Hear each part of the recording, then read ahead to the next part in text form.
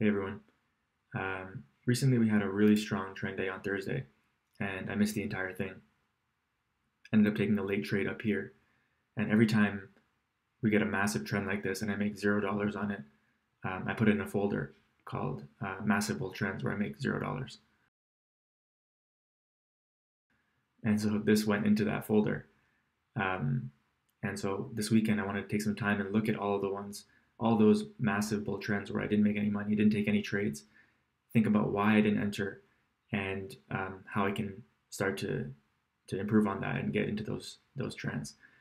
One big factor for me is I'm trying to make my my entries more rule based, um, but even with that, there's the discretion of, for example, if we get a strong breakout, um, my rule is that I can buy the first pullback below a bad sell signal.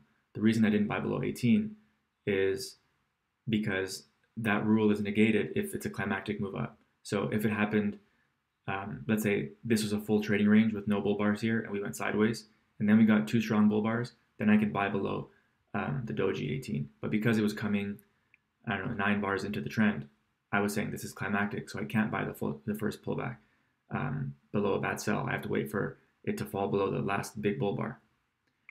And so that entry was missed because of my interpretation of what's considered climactic. And I was considering this climactic.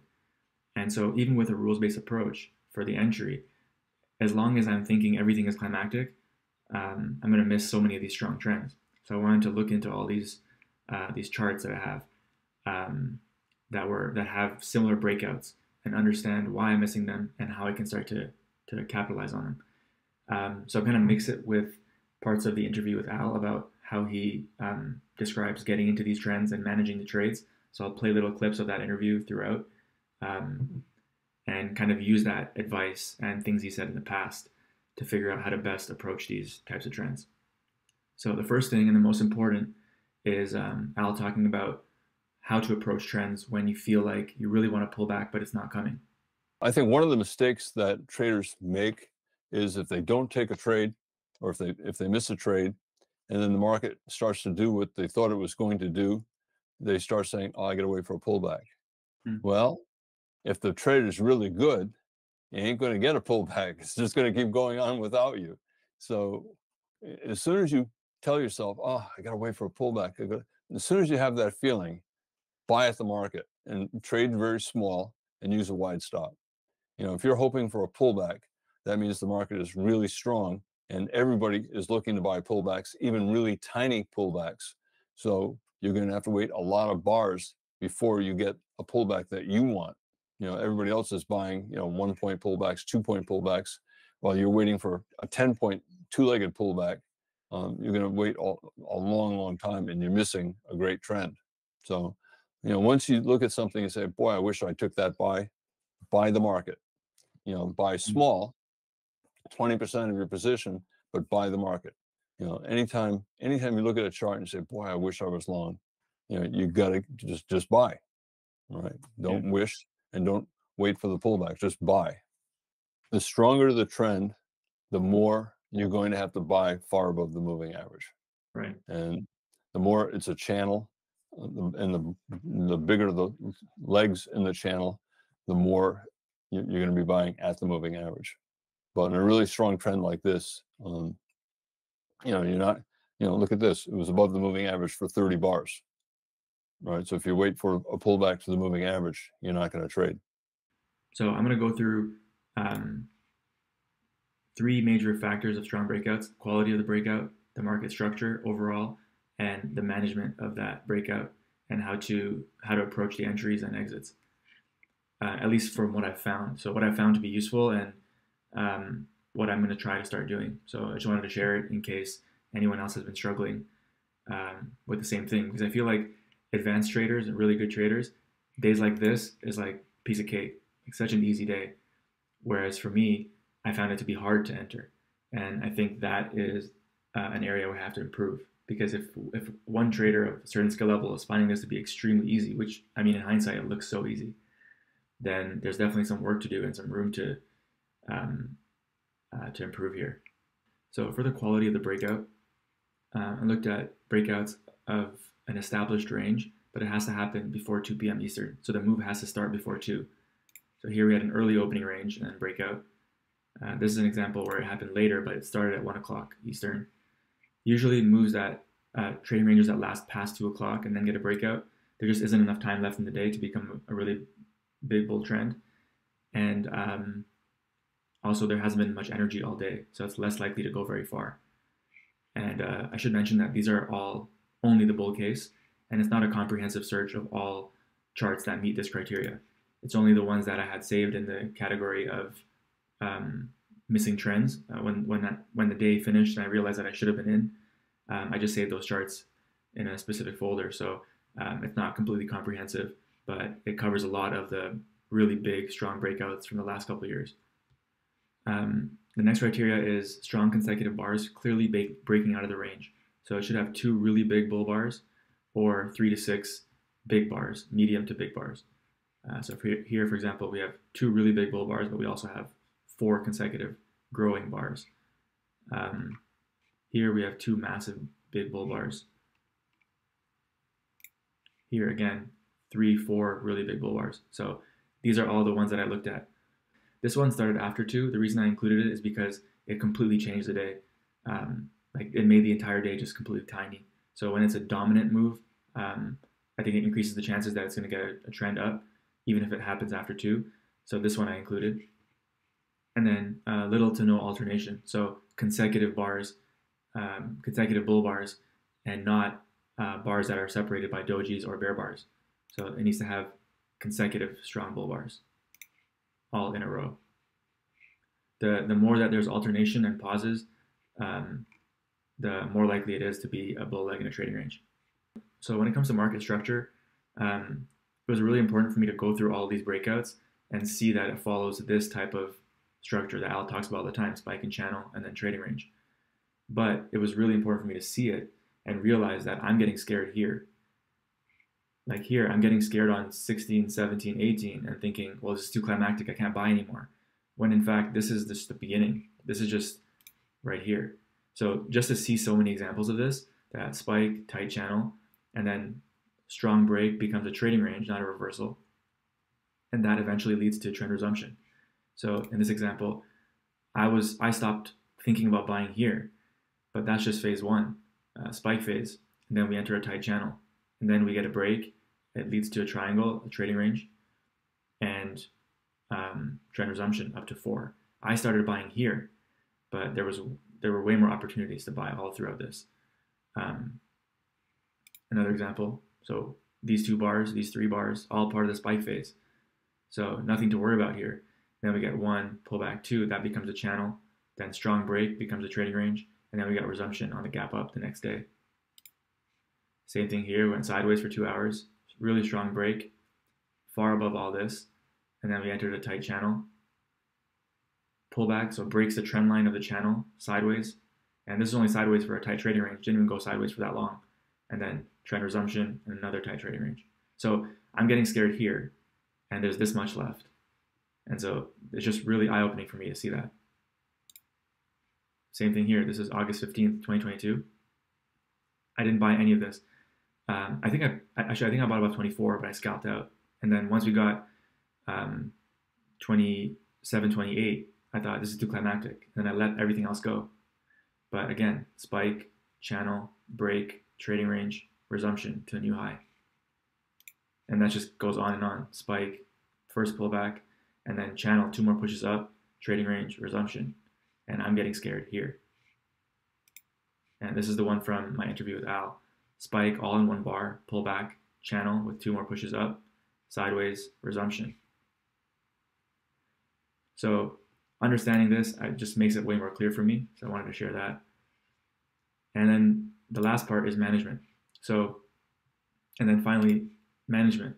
So Al talks about exiting based on change of behavior or a change of direction.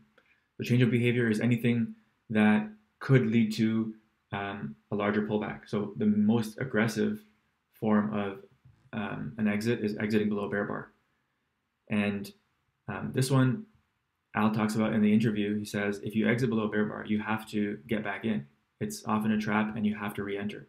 Yeah. In this case, it's a very big bull breakout. I say, wow, look at that bar. That's very different from all these other bars. Something right. has changed. This bar has changed, right? Uh, so when you see that, you got to think, you know, I got to buy. And even if you bought the close and get up below this bear bar, if the market is in uh, a trending mode or possibly a trending mode, and you exit, uh, in, in this case, a bull trend, as soon as you see a bull bar closing near its high or above its midpoint, you buy again. So you buy above that bar, you buy above that bar, you buy above that bar, you buy above this bar, you buy above that bar. Bull bar closing near its high, you buy above that. Bull bar closing near its high, buy above that. If you get out below this bear bar, you buy again, you buy again, you buy again. Only look to buy. So, and you know, what does Al say and how to buy?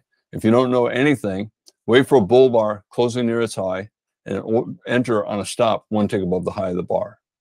And you can put your stop below the low of the bar. So you buy above this bar, put a stop below. You buy above this bar, put a stop below. You buy above that bar, stop below. If you get stopped out here, you can buy again. And, you know, some swing traders will be very quick to get out, and those are swing traders who are quick to get back in. Right. If you find that you get out below 51 and you do not buy again above 52 or 53, right? You got to change what you're doing. Right. Right. And that's one of the big problems with scalpers in trends. They take the first scalp and then they never get back in. Right. Right. And that's why traders should focus on swing trading because they'll miss too many trades. And how do you get back in? Um, you can see where to get out. If you're long, you get up below 50, you get up below a bear bar closing below its midpoint, below 51, below um, 56 or 57, below 61, right? And where do you get long again? I've said several times already today. If if the market is if it's not if if it's not a good short, then it's probably still long, and you have to just wait for a bull bar closing near its high and place an order to buy one tick above the high of the bar, and right. just do it and hold on. And if you find yourself doing it and exiting with one or two points profit, you know, go to Walmart, go out and take a walk for 10 minutes, do do something to stop yourself from doing that. Right? right. If you're a swing trader, you know, you cannot be scalping. You know, if you're a swing trader, then swing trade. So um, a bear bar in a spike phase is often a trap. So if you're exiting below the first bear bar in the spike phase, you have to get back in above a bull bar or above the high of the move. The bear bar becomes a bull flag on a lower time frame. It's also okay to stay long through the first strong bear bar since it's often a trap. So here on Thursday, we had strong spike, First bear bar 17, uh, uh, 19, buyers below, went above. So you can exit below 19, but then you have to get back in above a bull bar or above the entire move, so above the 18 high, because that would turn this bar 19 bear, bear bar into a bull flag. Or you enter again above 22. Here again, strong breakout, then we get another push up, then we get a bear bar. That was a trap as well, led to one more leg up. Here, it didn't trigger below the bear bar, but that first bear bar in the spike phase is often a trap. And then the day from the interview with Al, strong breakout, 51 is a bear bar. It was a trap. Trap for bears to sell, and also uh, a trap because Al often says that really good swing trades, really strong trends, often trap uh, swing traders out early with an early bear bar, an early disappointing bar. And so all these examples, you get an early bear bar that looks scary for a bull who's long, um, and that traps them out. So all of these situations, that first bear bar, it's okay to hold. Uh, at least from the data I have uh, in these charts, it's okay to hold because it's often a trap.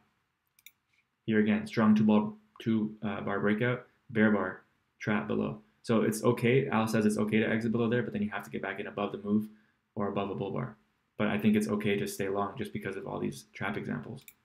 Here as well, strong spike, and then 35 is a bear bar, but trap again. So in the spike phase, um, we know that the first pullback is going to lead to trend resumption in the form of a channel. So there isn't that much urgency to exit uh, below that first bear bar. And then Al talks about exiting a certain distance below a bar. And as soon as you get in, um, you put a stop um, below the most recent low, 52, or the size of a scalp below, let's say you bought 54, you get out the size of a scalp below 54 or um, below a bear bar, um, 56. A swing trader, you can get out below a bear bar closing below its midpoint and then buy again above the next bull bar closing near its high, right? Or you can also get out below a bull bar. If the market goes far below a bull bar, you cannot hold forever because sometimes it'll go below a bull bar and go really far below that bull bar. If you're, if if you're selling in a bull trend with stop orders and you're making money, the bull trend has probably become a much weaker bull trend, like a bull channel, or it has probably become a trading range, or possibly even a bear trend. So if you're a bull and you you've been buying at the market or at the high, and now you see stop order bears making money, you know you cannot be buying at the high anymore. You have to switch and buy pullbacks. Right. That's why I'm saying. That you get out the size of a stop order scalp below any bar, including below bull bar, because if the bears are making stop order money with stop orders, then the bull trend is not the bull trend that it was. It's no longer a really strong bull trend, and therefore you cannot be long um, at the high of the at the high of the day.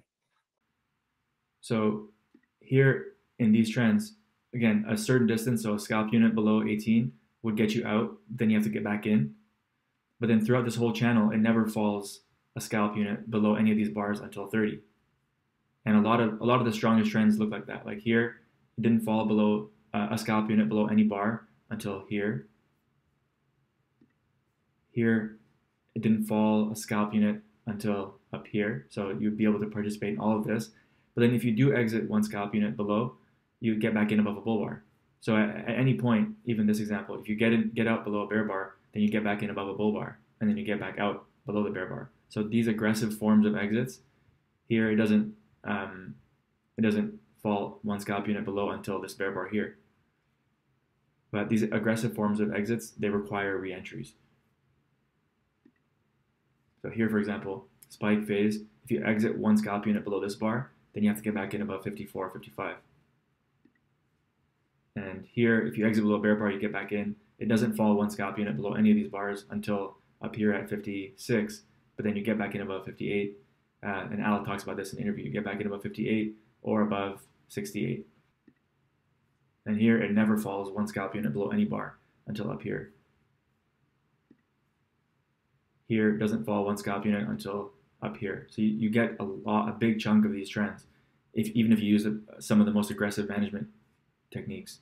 Here, doesn't fall one scalp unit at all, all day until the until the end of day. Here, really unusual strong breakout, doesn't fall one scalp unit below any bar until up here. So you, you just with that extremely strict management criteria, you would be able to sit through sit through this entire trend. And it's rare to have a trend this strong, but in most cases, it does get you a big chunk of the move. Here it wouldn't. Here you'd have to exit below here, but then you have to get back long above 38, 39, 40, and then you get uh, you get out again below 47. So um, same thing here. Doesn't fall one scalp unit below any bar until somewhere up here. So if you bought anywhere in here, if you're using that management criteria, you can stay long for most of that trend until the trading range starts. So two options for that is one is exit one scalp unit below any bar because as Al says, if it if the stop order bears are making money, so if bears are making a scalp selling below bars in the trend, it's probably transitioning into a trading range of some kind. But for a more conservative approach, you can exit one scalp unit below a strong bull bar. So a lot of times it'll fall, um, it'll fall one scalp unit below a doji, but it won't fall below the bull bar. And so here, for example, it might fall a scalp unit below this doji, but it doesn't fall a scalp unit below the strong bull bar. And so that is a more conservative approach. It keeps you in longer, but then obviously you give up more profit. The next form, which is more more hands off than this exiting a scalp unit below a strong bull bar, is exiting below two consecutive bear bars. So you can see here for this trend, there was one bear bar 19, but you don't exit there if you exit only when you get two consecutive bear bars. So you exit below 32, but then you get long again above 39 or 40, and then you exit below 45. Here, you get a bear bar here, you get a bear bar here, you don't exit, but then you exit here after two bear bars. And this is more hands off and it gives you a much bigger chunk of of the trend. So here you don't get two bear bars until right here, but it doesn't go below. We get the trend resumption, still no two bear bars. So two bear bars are actually quite rare in these really strong trends. Here, the first time you get two consecutive bear bars is right here. And then you don't buy the high one because two bear bars, but then you can buy again above here or above here. Here as well, spike phase, one bear bar only, one bear bar only, two bear bars. That's a sign that trading range might be starting. And then bulls buy again above here for the resumption phase. And then here, the, the example in the interview with Al again, you get one bear bar 51. So if you bought during 50, you don't exit below 51. You get two bear bars here, you exit below 57, but then you have to get long again. Maybe not above 58 because it's coming after two bear bars, but then you get long above maybe 68. And then you don't get two consecutive bear bars for the rest of the day. Here, if you buy 61 or 60, sorry, if you buy 62 or 63, you get two bear bars here, but it doesn't go below. And then here you get two bear bars, and you exit below that. So you get a big chunk of a lot of these moves. Here, if you buy anywhere in here, two bear bars up here, then you exit because we're probably going sideways, and you re-enter above 20, uh, 28. Here, don't get two consecutive bear bars uh, for the rest of the day. Here, if you buy anywhere in here, you don't get you get two consecutive bear bars here, but it doesn't go below. Then you get two consecutive bear bars here. It goes below, so you exit, and then you buy again above a bull bar. And then you don't get two consecutive bear bars again until here, 70, 73. And this, I think it's worth mentioning that this is not including any other price action read. So you're not using any discretion. For example, here, you might say, well, we got the spike and channel, and then we got a breakout above a wedge, and this is a possible climax. And so you may exit on the climax, you may exit below a bear bar and change your your management approach depending on where we are in the market cycle. This is just looking at two bull bars only. So if you add in that discretion, I think uh, the probabilities increase significantly. And here we got two bear bars here, so you exit, but then you get long again above a bull bar, or this bull bar, and then we don't get two bear bars again until here, where it goes below 48. And here, if you buy anywhere in here, I'm showing a lot of these examples because I think they're useful. Uh, so it's going to be a little bit redundant, but I think it's important to look through all of them. So here we got breakout 1819. If you buy anywhere there, no two bull, no two consecutive bear, bar, bear bars until 35 up here. Then we get a trading range, and then you buy for trend resumption up when it forms a larger pattern. Here, anywhere in here, if you buy, you don't exit below 35, you get two bear bars here. So 47, 48, and I'll talk about this in a bit because this isn't always in flip. So it changes the character. I mean, 47 and 48 is something different than we, we saw in any of these other examples. So those are the two bear bars. So you might give up more on a day like this if you're swing trading. Um, I don't think, and also I'm not planning on starting to starting to swing trade. Um, I think this is just important for me to understand the cycle and how to manage the trades, um, and to not psych myself out of of the entries that present themselves within uh, these breakouts. So I'm not planning on buying and just holding and using these exact management criteria, but it's just a kind of a mental note to know that we don't even have two consecutive bear bars yet. There's this is not a climax, and it's not like it can't go any higher. And then obviously exit below major higher lows. So in this case, it's a little bit more hands off. Even if you get two bear bars, your your stops below the higher low at the start of the channel, and then when you get a breakout, you tighten it to here, and then you get a pullback, you tighten it to here. So that's the most hands-off approach. But here you get the channel, you put your stop here, and then you get a breakout, you put your stop here, and then you get the final resumption. And then there's a change of direction. They're always in flip. So in these failure conditions, um, you can clearly see something that's characteristically different from all those other examples, which is these two giant bear bars. And so if you are swinging it and then you see these two giant bear bars, not only is it an exit, but in many cases it's an always in flip and it's a it's a short. So an aggressive trader could also flip to short after seeing that. And same thing is here. It's a really strong breakout above this range from yesterday. But then you get these two strong bear bars. That's an always in flip. So it's no longer doing what all these other examples were doing. Uh, it's very different. And even this one here, if you're waiting for trend resumption and then you see these two giant bear bars, that's an always in flip. So at least a second leg down, possibly a reversal. Here we got really strong breakout and then got a large second leg down. Here we got the two bear bars that led to a new low of day and then a second leg down. Here we got a really strong breakout above this range. And so bears who are using, sorry, bulls who are using the two bear bar approach would exit there anyways. And then there would be no reason to get back long. But for a trader who's using the the exit at the higher lows, like trail trail with higher lows, um, if they see this, then that's an always in flip and it's short for a second leg down at least. Same here. So this is different than this day and this day. So we had strong breakout and then doji, and then there were buyers below. And so we got one bear bar, didn't close below, and then reversed up. On this day, we had a strong breakout, doji, then bear bar, then reversed right up. The difference here is that we got bear bar and then doji, so consecutive bear bars. That's different than all those other examples. So if you use the two consecutive bear bar approach to exiting these, then you would stay long in all those conditions, and this one you would exit and you would save yourself from all this. And so that's pretty much what I covered here, the failure conditions. So three consecutive bear bars are really rare in all these examples. If you just look through all of them, three consecutive bear bars usually happens when the trading range is starting. Um, I mean, as it is, two consecutive bear bars, and for it to trigger below two consecutive bear bars is already rare, but three consecutive is probably a sign that the trading range has started, especially if they're bigger. Um, indicates that we're probably we're not probably in a trading range. And then two strong consecutive bear bars flip the always in direction, and traders start to short, which is these large failure conditions that I showed here. And finally, the hybrid approach, which I think is the best approach. Uh, it takes the most experience and something that I'm I'm looking to to strive to get better at, um, which is in the spike phase, you're more lenient. So you don't exit below one bear bar. You might exit below two consecutive or three consecutive bear bars um, to give it more room, knowing that that first pullback will be bought and that the channel phase will start. And then in the channel phase, then you might start exiting one scalp unit below any bar or below a bear bar late in the channel. So here, for example, you don't exit below bear bar because it's a spike phase, but then you exit below bear bar during the channel phase, which would be here. Or you know we're getting late in the channel phase, and so we should be starting a trading range. And so in this phase, you look to exit one scalp unit below any bar. So here as well, we have a spike. You don't exit below bear bar here or here, but then once we get the third push up, then you exit below bear bar. So more of a hybrid approach that you change your management strategy depending on where we are in a market cycle, which is what Al teaches.